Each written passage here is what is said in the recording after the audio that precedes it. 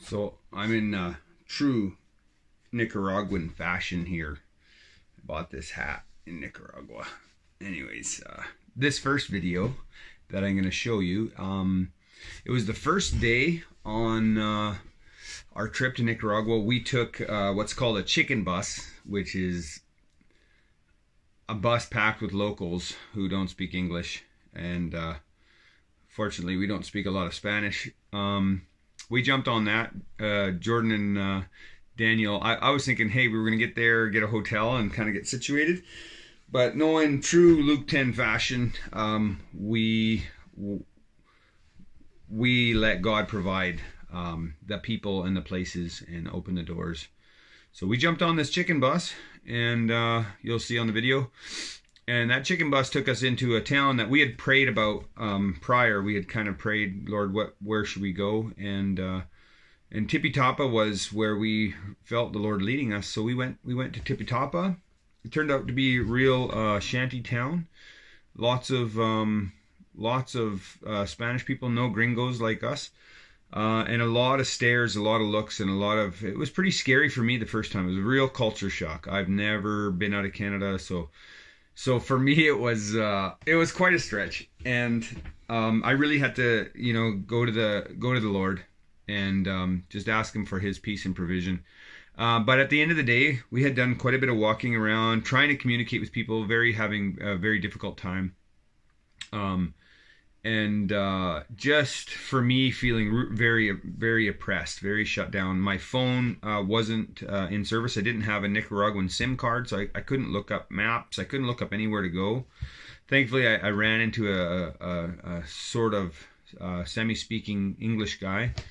And uh, he helped me negotiate a, a sim card. And i put that in my phone and my phone kind of came back to life. And that was good. I was able to um, look on my maps and try to uh, figure out, you know, if where we were and uh, where we were going to stay. People kept advising us uh, during the day that no gringos should be on the streets at night. They it's very dangerous for us. Very we'll get robbed, we'll get mugged, and so uh, that was in the back of my mind.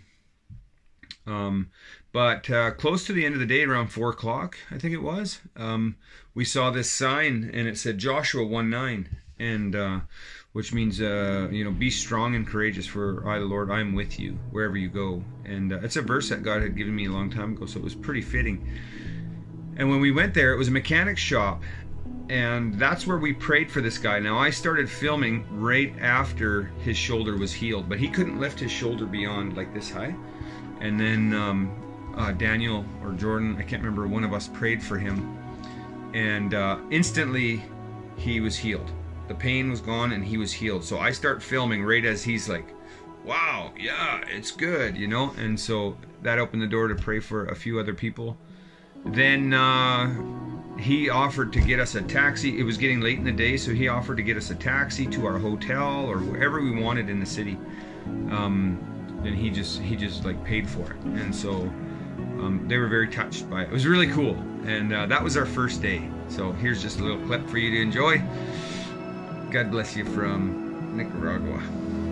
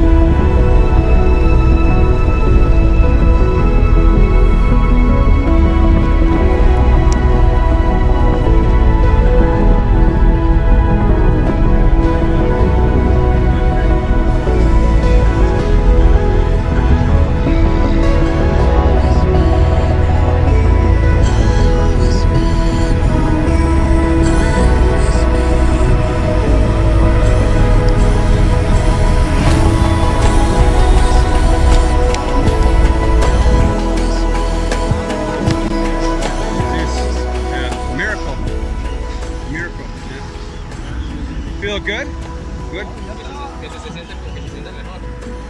gustó. Is there anybody else?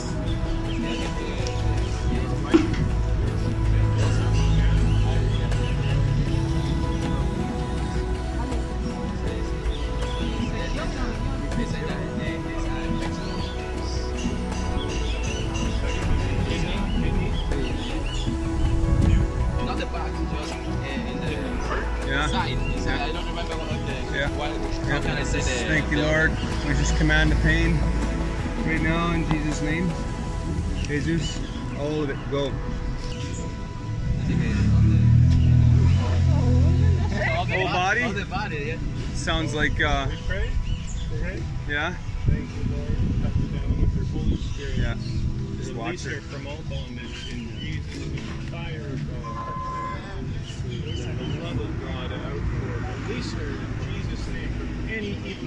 spirit. I order you out of her life. Presence of the Lord. Freedom. How does she feel? Can you ask her how she feels? Cool. He said that, that, that he wants to the.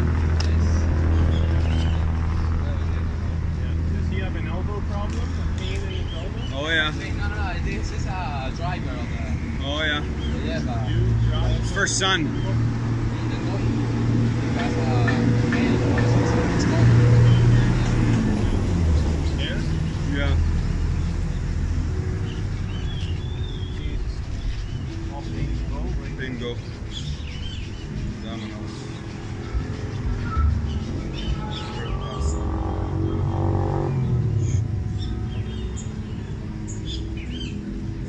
Feel? Check it. Still there? Needs to Yeah, go back, again. back into place. Yeah. Nam diaros. Back into place. Right. Pain go. Say Espanol, pain go. Dolor fuera. Go back into place. All the pain go. Evil spirits out. Lo de Señor fuera.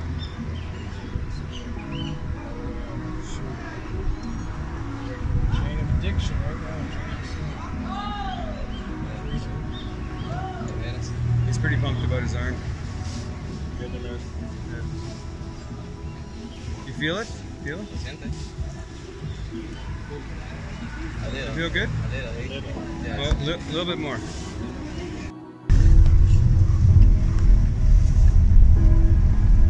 basically just drive wherever you can, eh? Yeah.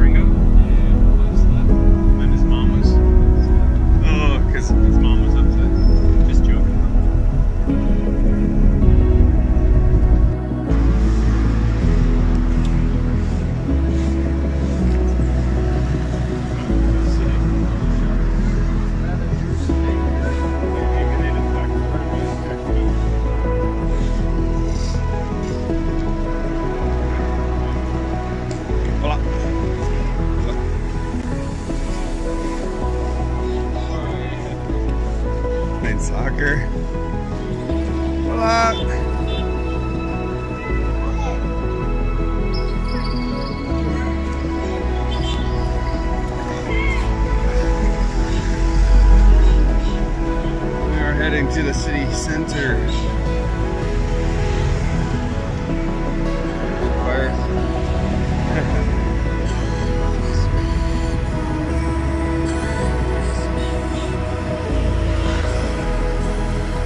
houses